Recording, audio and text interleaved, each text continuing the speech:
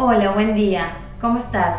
Mi nombre es Annalise Roldán y soy terapeuta ocupacional del Hospital Italiano de Buenos Aires. Quiero dejarte un nuevo desafío.